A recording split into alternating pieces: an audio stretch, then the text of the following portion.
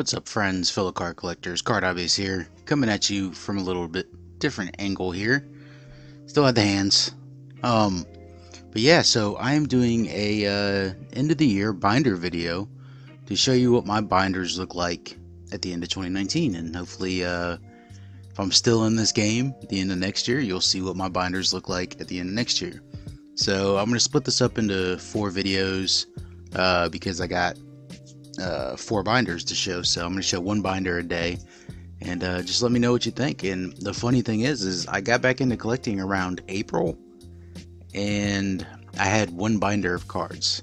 Well, I had two binders. I had a baseball binder and I had a football binder, and they're not the biggest binders. So my collection was very, very small um, back in April when I got back into into collecting.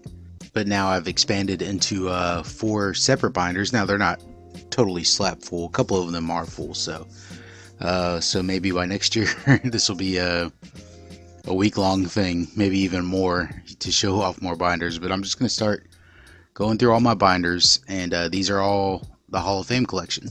I also have a few cards that aren't in binders, you know, like relics and stuff like that. I'll show those off as well. Um, but yeah, let's just get into it and uh, take a look at my end of year 2019 binders. So we're gonna go through. I got these organized by year, so I my vintage is lacking a lot, mainly because you know getting into vintage and all that it's it, it get pretty pricey, and especially like a lot of stuff I don't like uh, buying vintage on eBay, especially in the raw form, just because I don't trust it. There's so many counterfeits and stuff out there. Not to say that you can't pick up vintage on eBay you know, raw for a good price. It's just that I don't trust it. So, and I'm not like a graded card collector, so I don't buy graded vintage, which is even more expensive, I should say. But let me quit rambling and, and just get into this. Uh, so, starting off is the oldest card that I have right now for Hall of Famers, and it is Eddie Mathews, 1964. That is by far the oldest card I got now, and I know that's not like the most impressive thing. Um, but like I said, I just got back into collecting back in April, and I really, you know, didn't go gung ho on trying to uh, get older vintage. I really mainly paid attention to modern, staying within a, a, you know a limited budget, not trying to spend too much on cards. So yeah, so I got this Eddie Mathews 1964, and then jumping all the way to 1968, got another Eddie Mathews. And then jumping up to 1969, only got one 69 card, and it's this Deckle Edge uh, Bob Gibson. Got this for $2. Um, it's not in the greatest condition, but, you know, it's a 69 Bob Gibson Deckle Edge. And then we get to 70. We got three Hall of Famers here. Actually, there's four Hall of Famers on this one card here. Uh, but this is the 1970 set. This may look familiar because you've seen a lot of this design this year with Heritage. And then we move on to 71. 1971, only two cards from the 71 set. Now these aren't in the greatest condition either, but I'm not a big stickler for condition. Um, Al Kaline and Earl Weaver, two Hall of Famers, and super excited about Heritage next year because I absolutely adore this design. Big fan of black bordered cards. Alright, 1972. Only two cards from 1972. Got Billy Williams in action. And got the ERA leaders cards with uh, Vida Blue, Wilbur Wood, and Jim Palmer. The only Hall of Famer that's on that card. Alright, missing 73s. But we do have 74s. Fergie Jenkins, Kaline, and Sparky Anderson. So those are my 374s. 75s, I have a few more 75s. I got five 75s. Uh, you got Killebrew McCovey, so two Hall of Famers there. You got Johnny Bench, Tom Seaver, another Willie McCovey, and Joe Torre. 76 only features two cards. Um, this is actually an SP or SSPC card. It's not a Topps. That's a SSPC Willie Mays Herb Score, and then a Lou Brock. It's number 10. So for 77, also only two cards. Nolan Ryan. It's probably one of the better cards you get out of any set from the 70s. Nolan Ryan and uh, Don Sutton. It's only two cards from 77. 78, I got a few more cards, mainly because uh, I've been buying a few of these uh, 78 packs from back in the game collecting, and they each feature Hall of Famer, so I managed to pick up more Hall of Famers at a 78. Lou Brock McCovey, Brooks Robinson, Tommy Lasorda, Reggie, Earl Weaver, Bruce Sutter down here, Bob Lemon, Sparky Anderson, and Rod Carew. Right there. Alright, moving on to 79. Only four 79s. Got um this is uh, the TCMA set. Uh 1950 set I believe it's called. Early Wynn. Willie Stargell, old Tom Seaver, Reggie Jackson, 1979. Okay, so now we're into the 80s. Now this is where the binders kind of really pick up. Um, as you can see, all this was from what 64 to 79, so that's 15 years of cards there in just those few pages. That shows how much I lack in pre-80s vintage, but a lot more cards follow this. When I say a lot more, I mean that's relative because I know a lot of you out there have boxes and boxes and boxes full of cards. Russo said he had 800 million cards. I'm jokingly say that. Love me some Uncle Russo. All right, so what you see here is mainly the Burger King uh, pitch hit and run set. These are all the Hall of Famers from that set. Uh, Carlton, Rollie Fingers, Niekro, Palmer, Ryan, Seaver, Sutter, Brett, and Carew and then that continues on this page with Jackson, Rice, Rose, Winfield, and Morgan. And then you move into the 80s Topps. Um, Pete Rose, Perez, Schmidt, Gaylord Perry, and Rod Carew. This last one here is a Pacific Legends. Uh, it's also called. Says something else on the back. Oh yeah, Cramer Sports Promotion. So uh, you may hear this called the Cramer set, but in Beckett it's listed as Pacific Legends, which they released over three years. You got a Willie Mays there. Alright, moving into 81, we got Donruss here. So you see Donruss coming onto the scene. One thing I love about having binders and going through and looking at them like this is you get to see history of baseball and i think that's one of the things that draws me to baseball cards in the first place is the history of the game like i love the ken burns documentary about baseball and uh, i just i love the history of baseball and, and how it moves along. And it's not just the game but it's like it represents the era that it is happening in. So you know you get to see the history. And especially like focusing on these hall of famers is you get to see like the as players exit get older and exit um, become veterans and like you know veterans that had their heyday already and are just you know they're in the league they, they might still be playing very well but you know maybe they're falling off a little bit. Um, but here you get to see the introduction of Donruss 1981 Donruss uh, Donruss came into the game also Fleer down here. So it was no longer Topps itself. It was now these other companies now coming in to produce cards which you know set up the Junk Wax era for you know those of us that are my age. So, anyways, you got you know Rod Carew, Bench Yaz. So you got three veterans here that you know have already put together their Hall of Fame resumes and, and are heading towards the ends of their careers. But then you got you know a young cat, Ricky Henderson, second year. Nobody expected him. Oh, this guy's going to be a Hall of Famer when all is said and done. You got Pete Rose, who is, you know, chasing the hit record. Fisk, who would play all the way into the 90s. Goose Gossage played a while. Tommy Lasorda, who would manage all the way into the 90s. There's another Yaz. Tony Perez, a young shortstop by the name of Ozzie Smith. Here's your Topps, your 81 Topps, or 80, yeah, 81 Topps, excuse me. Carew, Ozzie Smith, Mike Schmidt, Don Sutton like I said, you see these cards. I guess nobody expects them to be Hall of Famers off from the from the get go. And even if they are super hype prospects, you never know. Plenty of been plenty of super hype prospects that didn't put together Hall of Fame careers when everybody said, thought they might be superstars in the league. Okay, 82. Here we got the Diamond Kings from 82 Donruss. Carew Winfield Smith. Then you got the 82 Donruss design, which is much better than the 81 Donruss design. Love the ball and the bat. I mean, it seems so simple. I mean, these graphics are very elementary. Um, look like clip art down here at the bottom. Uh, we got, you know, Seaver, Rose, Carew, Perez, Niekro, Robin Yount. That's my earliest Robin Yount card. You got more and then you got 82 Fleer, uh, Sutton, Trammell, Baines, Carew. And then we move on into the Kmart set, which uh, featured all the cards of MVPs. And it's called the Kmart MVP series.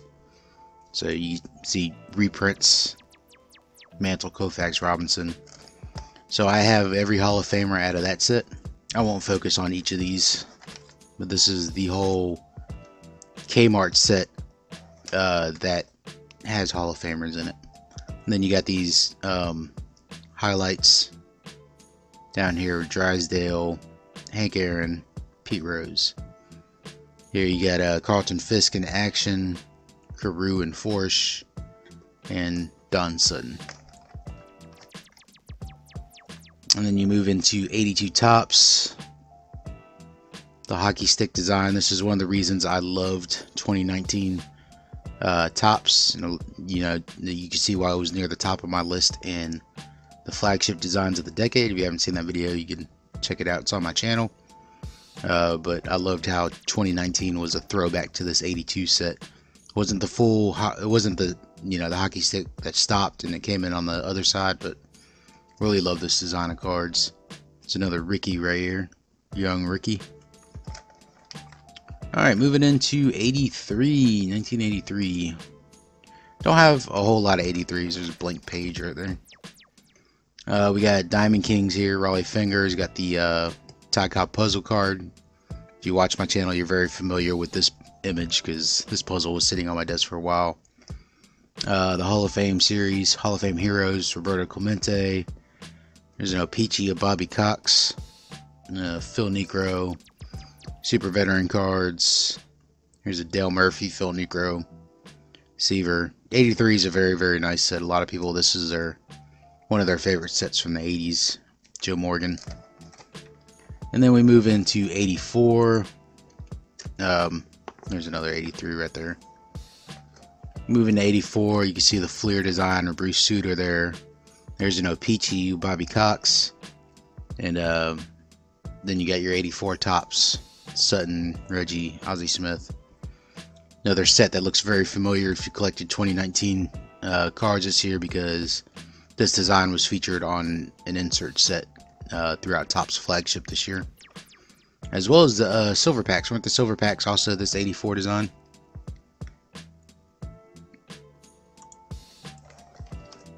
Alright, now we're here with 85. 85 Fleer, Nolan Ryan, Don Sutton. Here's a Don Sutton. So this one he's on the Brewers. This one he's on the uh, the A's. Don Sutton played for a plethora of teams. Uh, this is the Fleer update, and that's the regular Fleer. Uh, here you get the Leaf, Ozzie Smith. Love this card. Just a beautiful card. Love how the the red stripes here go with the Cardinals uniform. Um, another O-Pee-Chee Bobby Cox. Uh, then you have your regular 85 Topps here, Gary Carter. Rod Carew. You got this young pitcher that came onto the scene, Lee Smith, who's a reliever, and Tom Seaver still doing his thing the Ozzie Smith All Star, and another Don Sutton in a Brewers uniform. All right, we move on 1986. That's a Big League Chew card. Remember Big League Chew? That came from Big League Chew. You got uh, your Donruss. I really don't like 86 Donruss design. Uh, it's probably one of my least liked uh, Donruss designs. Uh, you know, after 90, 88, it's pretty bad too. Yeah, 86. I didn't like the design. I mean, it has a great rookie class in Donruss, which I don't have any of those cards, but just I, I didn't like that that design. Uh, here's Fleer, 86 Fleer. There's a Fleer mini of Don Sutton. Here's a leaf card of Phil Niekro, Joe Niekro. And And then you got your, your 86 Topps. A lot of people like this set. Um, Don Sutton, Tom Seaver. And then you have your turn back the clock cards. There's another Bobby Cox and another Tom Seaver. This Tom Seaver is the from the traded set, Topps traded. So White Sox, Red Sox, Chain Sox. All right, moving into 87. 87. Greg Maddux rookie card. So there you go. Moving again through history of baseball. Here's a young Cubs pitcher uh, who went on to become one of the greatest pitchers of all time, in my opinion. And yes, I am biased. Uh, here's a Tim Raines, Bert Blyleven, Yount Trammell, Jackson, Ricky Henderson. Uh, here's Fleer down here. These Fleer updates, yeah, both of these are Fleer update cards right here. Dennis Eckersley and Reggie Jackson. Here's the award winner set from Fleer uh, with Tony Gwynn. Kirby Puckett, another young player that burst onto the scene. Mike Schmidt, Ozzie Smith. He's now a uh, well known veteran. This one is, I think it's called Sluggers and Pitchers. Yeah, it says Sluggers down here. Uh, it says baseball's best at the top, and you got sluggers and pitchers. And then here you got the iconic 87 set. Um, 87 Topps. A lot of people very fond of this set because of where it fell into their collecting. A lot of people, this is, especially people my age, this was like their first set. It wasn't my first set because I didn't get into collecting until uh, 1991. So I had a very short stint in collecting baseball cards as a kid. Uh, but it was enough to ignite a passion in me later on in life. More 87 Topps. Here's one of the glossy all stars and another glossy all star. Uh, this is a send in. I think these are only mailed out by Topps. Um, they're glossy cards as well, like the like the all star cards. But the iconic 87 set. Still missing a few Hall of Famers in that set. All right, move on to 88. 88 Donruss. A lot of people really dislike this set because of the design. I do as well. I don't really care much for the 88 design as well. So still need plenty of Hall of Famers at 88. I might pick up a box of 88, try to fill out my Hall of Famer collection from 88. One of my least favorite sets of all time. 88 Fleer. I really hate this design. Um, but I got Edgar Martinez rookie in here. Ozzie Smith, uh, Don Sutton. There's a Tom Glavine rookie card. Uh, John Smoltz uh, from Update. Yeah, Fleer Update, John Smoltz. Really his first, tr- it's not considered a true rookie. They call it an extended rookie or something like that, but this was, even though his rookie's mostly an 89 product, he did have a card in 88 with the Fleer Update. Then we got some score here, Niekro Sutton, Lee Smith. Then we got Topps with uh here's your 88 Topps design. Uh, here's your All Stars from Topps. Some more Topps here. Here's your glossy All Star inserts from Topps. And then I got the Rite Aid set. Uh, team MVPs, lots of Hall of Famers featured in there. Some more Rite Aid cards. Wade Boggs, Cal Ripken, Jack Morris down here. Tommy Lasorda, that's a Tiffany. It's a top tif Tiffany. You can see the back is very bright. All right, and closing out the uh, decade of the 80s, and also closing out this binder is 1989. So I have a lot of 89 Donruss. Uh, you may have seen me. Well, I say a lot, but I'm still not done collecting all the Hall of Famers from 89 Donruss. Still missing that Griffey Ricky. Um, but I opened up a box of this and got a Biggio rookie out of it. Uh, let's see. Tony Gwynn, Wade Boggs, Paul Molitor, Warren Spahn puzzle, which you see back here up under the binder. Um, Smoltz rookie. Your MVPs from Donruss. Another Biggio rookie, that's 89 Fleer. Smith, another Smoltz rookie. Uh, 89 for the record insert Greg Maddux. I think that was an insert set. Here you got score down here with Wade Boggs. It's my only 89 score. 89 Topps. Eh, probably not one of my favorite sets, but Bruce Sutter, Tony La Russa, and now you got to remember for the fact you are right smack dab in the peak of Junk Wax in 89. I consider Junk Wax starting 86, 86, 87. I think that's when they really ramped up production on cards. Uh, when the hobby got started getting real big, 86, 87, 88 it got worse, 89 it got worse, 90 it got worse, 91 it got worse, 92 you started seeing changes in the hobby. Um, you, you now had Upper Deck in the game after 89, but the, the writing was on the wall. They were still overproducing in 92, but collecting was starting to, I think, sink down a little bit in uh, 90, 92. I think that's when the collecting started to sink down because a lot of these younger collectors were now entering high school and weren't really collecting as much. So continuing with 89, um, your All Stars. Uh, Tony Gwynn. This one's courtesy of JJZ. That's a Wade Boggs autograph card uh, on 89 Topps. Gary Carter, Ozzie Smith, and on the very last page, mentioned Upper Deck. I need to pick up a box 89 Upper Deck. I really want to rip some some 89 Upper Deck because I don't have a lot of cards from it, as you can see from my lone Ozzie Smith here from 89 Upper Deck. So I hope you all appreciated that. Um, just in case you're wondering, I love these these type of binders. They're like the D-ring. They got the straight side and the curved side, and they only got the one little tab down here at the bottom. You know, very easy to open.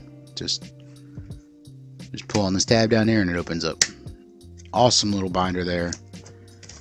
Uh, great design. I think I got this at Walgreens when it was on sale. I think it was buy one get one free at Walgreens. So I actually got two of these binders. Should have bought more at the time, but I didn't need any more binders at that time. So, hope you all enjoyed my early early binder. I say the early binder, but that one is complete. Uh, check me out tomorrow for part two of the series. We'll get into the 90s. Uh, yes, the the beginning of my heyday in collecting. I, like I only collected for like two or three years as a kid before I quit. So I started 91 93 was probably the last year I collected. Uh, I remember buying cards in 94, um, but towards the end of 94, when I entered high school, baseball cards weren't for me then.